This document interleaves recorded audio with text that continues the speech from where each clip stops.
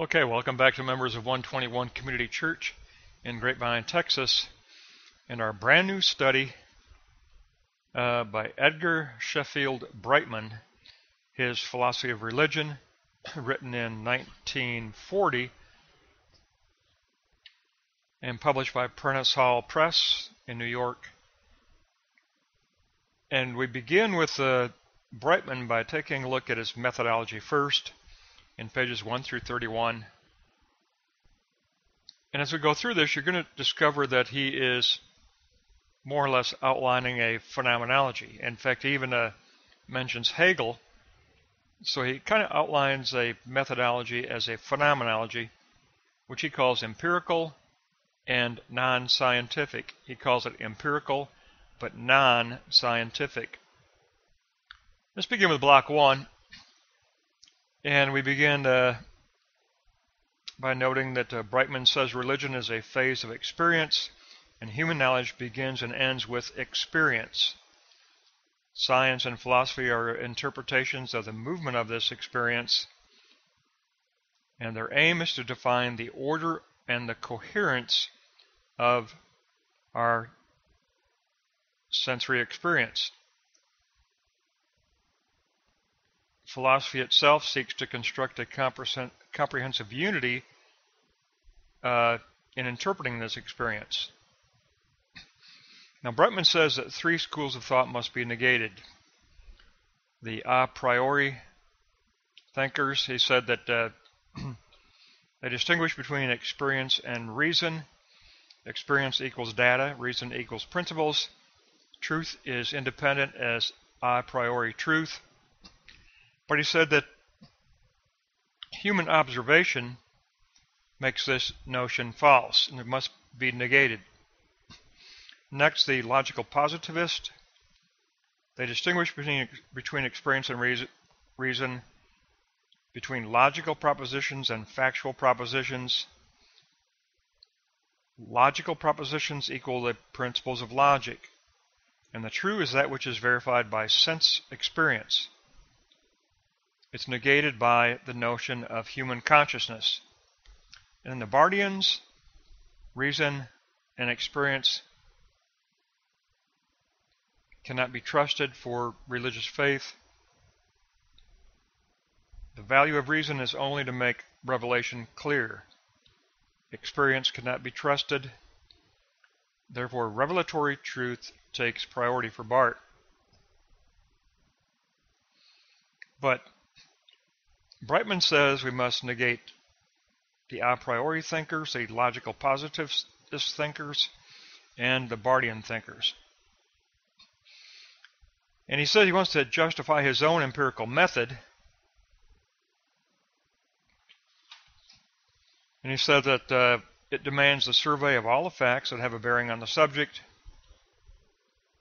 And uh, he will define all presuppositions he will ask for the meaning of verification, and he will examine the claims of revelation. He says that religious knowledge arises in our consciousness experience and it is tested in consciousness experience. Wisdom must pursue the open ended path of empiricism. He says that the three schools that we want to negate do give us three perspectives. You've got rationalistic belief, skepticism, or supernatural religion. So it does give us three perspectives, and he will address these in his empirical method. But uh, he wants to distinguish between empiricism as scientific method and empiricism as non scientific method. There's a distinction. Experience is chaos until it is studied scientifically, but he says the scientist also does learn to identify objects and to use language. Next, the scientist will seek understanding of the hidden forces within experience. Scientific method, method relies on controlled observation. That leads to laws of nature, and they are enlisted to attain desired ends. He says the science of religion includes history, psychology, and sociology. So those are non scientific fields of study. They don't employ scientific method. So his philosophy of religion will enlist history, psychology, and sociology. Basically, uh, he will address the non scientific area of consciousness, feelings, and thoughts and belief. And he says this method is more inclusive than the scientific method. It's the precondition of science. And it is evidenced by the concepts which he will address, those being purpose, systemization, and value. Purpose, system, and value are taken up by his philosophy of religion. So he says it'll be an empirical methodology, but a non scientific methodology. And primarily, he makes this claim because it deals with human consciousness.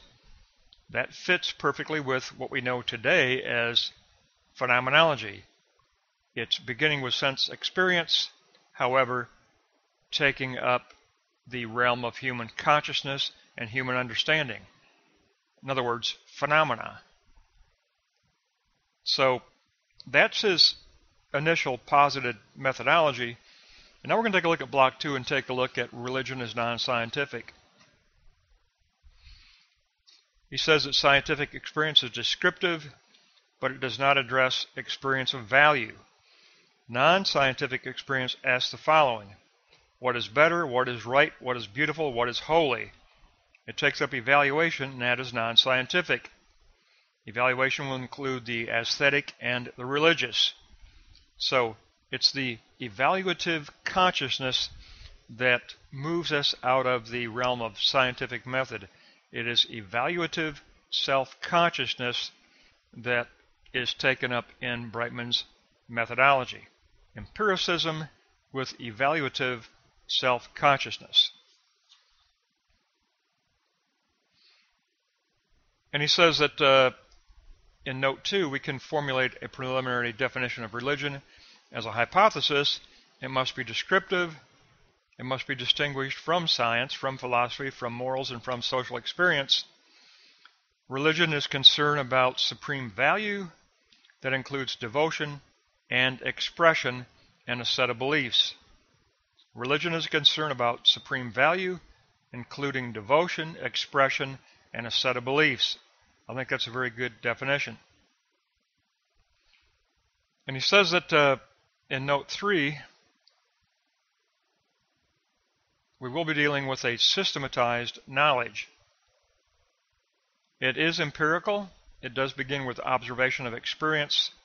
It addresses psychology and consciousness, that evaluative self-consciousness, history and development of beliefs, and sociology and group phenomena. So that's the non-scientific field of interest within the empirical method that distinguishes a philosophy of religion from scientific method. So block one, Brightman proposes empirical methodology. Block two, Brightman proposes non-scientific interest. Non-scientific interest. So empirical methodology, non-scientific interest. We're going to go beyond science and beyond scientific method in his approach. Now in block three, Brightman tells us religion and its enlistment of philosophy is examined. He gives us a, a preliminary definition of philosophy, and that is to understand experience as a whole. There's interest in the unity of experience it posits the questions of end and of value. It questions the relation between value and ex existence.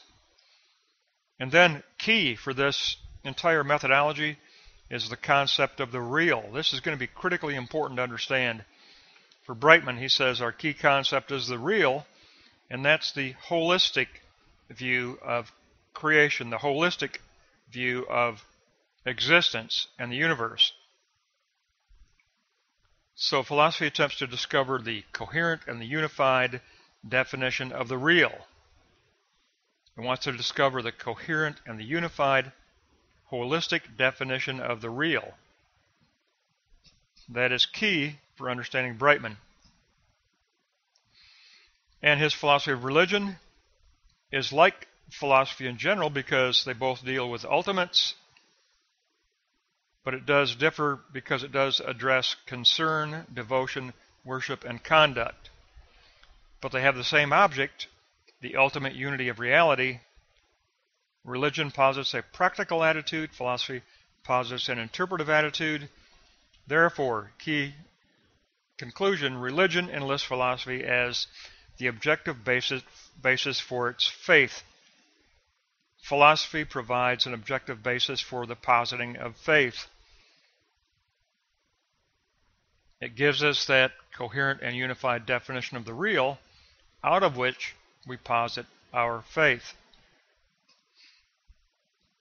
And that will lead us to the concept of theology in note 3, 3, 3.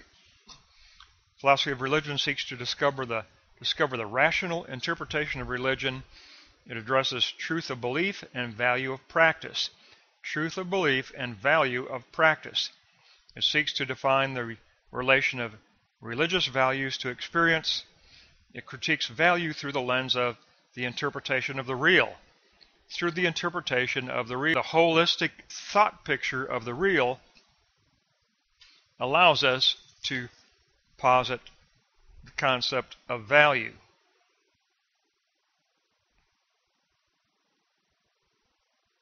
And theology is natural and based on, on reason, or it's revealed and based on revelation.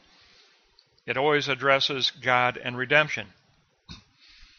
Now, key, because he has emphasized the concept of the real, it should be of no surprise that in note in block 3, note 4, he's going to bring up Hegel because Hegel's philosophy of religion sought to discern the principles at work in religious history. The movement of religion is a movement of a historical force. He says Hegel was an empiricist, comparing the aspects of religious history with the whole of the real. He, found, he finds good foundational contributions from Hegel. He finds a good beginning there because it addresses this concept of the movement of history as a movement of the real from which we can discover the positing of Christian or religious value. So we get a tremendous, what Brightman calls his orientation for the project. Chapter 1 is titled Orientation, but we could call it uh, methodology or we could call it his outline of phenomenology because basically he's given us an outline of his phenomenology that he will approach for the entire project. And it's a 500 page project. It's a fairly large philosophy of religion. But the outline we have here today, we know that we call this phenomenology. In 1940, it was called personalism or personalistic philosophy. And uh, Brightman was the bright star of American philosophy, a Methodist uh, theologian and, a, and an American philosopher. Not all significant philosophers are German. I mean, you know, it seems like they all come out of Germany. However, America has a strong, powerful philosopher, Christian philosopher, and Edgar Sheffield Brightman, and we are privileged that the first lesson is always the most important lesson. We are privileged that he has given us an outline of his methodology as a phenomenology. His methodology or his orientation is a phenomenology. It is empirical method, it is non scientific interest, and it is theological history. There's your recall triad. Empirical method, non scientific interest, and historical theology, or theology of history, I should say better, theology of history. An empirical method, a non scientific interest, and a theology of history are going to make up the outline for a phenomenology that Brightman will use to articulate an in-depth philosophy of religion. That's going to give us our introductory lesson. And uh, no, we're all looking forward to examining a powerful Christian philosopher in Edgar Sheffield Brightman.